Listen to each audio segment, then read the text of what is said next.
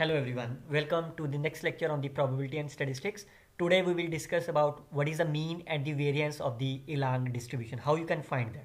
Myself, Dr. Garg. Now as we discussed in our last class that is what is the Erlang distribution and what is the probability density function called as the PDF of this R here. What is that? This is K and the mu are the two unknown parameters where K is my positive integers, this is greater than 0 and mu is my real number. What is the case? K is re represented as a shape parameter while mu is called as the scale parameter. Also we know that the graph of this density function with respect to this shape and scale we can see here. Now this is the one, this is the first form of this. However, if you instead of this as a scale parameter, if you consider as a rate parameter denoted by lambda, the relation between the mu and the lambda is nothing but here. Then clearly you can substitute the value of the mu here you will get this expression. So that's a very simple. Once you will get the mean and variance of this, you can simply replace mu as 1 by lambda. You will get the uh, mean and variance of this here. So our target of this lecture is to find the mean and variance of this. Now in order to find that, you can see our target is to basically find Ex and Ex square. So in order to make the calculation simple, I will start with the e raised to power Ex of r how you can find the ex of r as we know that the by the definition of mean this is here. What is the f of x? This is nothing but my probability density function. So i consider the probability density function in terms of mu. If you want to consider this in terms of lambda then you have to substitute value here. So i can substitute this f of x here. You will get this expression. Now you can see this part is they are same now we can integrate with respect to x. So this part is my constant. So I can take on this as a outside of this. Now how you do you remember that how you can integrate this? So what, which thing come in mind whenever there is a integration from 0 to infinity? This is always be the gamma integration. So what is the gamma what is the gamma form is there xn minus 1 e raised power minus x. So you can see this is only minus x. So what I can do is I can take x by mu as a y so what is the value of the dx? This is mu of dy. I can substitute the value here. So what is the limit is when x is 0, what is the limit of the y? When x is 0, y is 0. When x is infinity, what is that? y is again infinity. So this means this integration is nothing but my 0 to infinity mu of dy and I can substitute the value of x as mu y like here. I can substitute the value of the x as of mu y. This is here. Now you can see this is the first one mu this is mu so I can combine them. It will be nothing but k plus r and 1 mu k will be cancelled out here. So mu r is my outside. Now do you remember that? What is that? What is the gamma form? This is e, uh, e raised power minus x x raised to the power n minus 1 what is the what is the integration of this this is nothing but gamma function of n. So what is that? In this case what is the n is k plus r is there now once you will get here, now we can find the value of the Ex and Ex square from here. So what is that Ex? What is the value of the R here? I can take R is 1 and here R is 2. So what is the value of this when R is 1? This is nothing but here. But we know that what is the K? K is nothing but my positive integer. So whenever there is a positive integer, then K plus 1 is also integer. So what is the value of this gamma function of k plus 1 for the integer like gamma function of 3, gamma function of 7. This is nothing but the 2 factorial. This is nothing but my 6 factorial. So in general, for the positive integer, gamma function of k is nothing but k minus 1. So you can substitute here. What is the value of this? If you replace k as a k plus 1, this is nothing but my k factorial upon k minus 1 factorial. So can you open them? k upon k minus 1 will be cancelled out. So it's a here.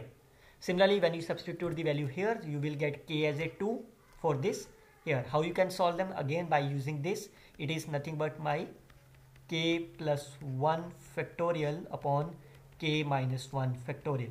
So what is the k plus 1 is there? So I can open them as a k plus 1, k and k minus 1 will be cancelled out. So you can see for this one. So therefore, once you will get the ex and ex square, I can substitute the value here. So what is the mean is mu k. What is the ex square is? I can substitute the value here. This is k plus 1 of k minus of mu square k square. So if you open the bracket, you can get easily as of here. You can see this will be cancel out so the variance is my mu square k and the mean is my mu k. So you can see where k is the shape parameter and the scale parameter. So what is that? What we conclude that if we consider the pdf as of here where the mu is a scale parameter and k is scale parameter we get the mean as mu k variance is mu square k. Remember that that's the most important is the scale. However if you want to consider as a rate parameter instead of this pdf if you consider here what is the difference between them is replace mu by 1 by lambda so what you can do you can substitute this value in here so once you will substitute here what is the mean and the variance if you replace mu as 1 by lambda so it will be nothing but here so remember that the only difference between them is the rate parameter and the scale parameter. So whenever you are trying to do these questions, remember that.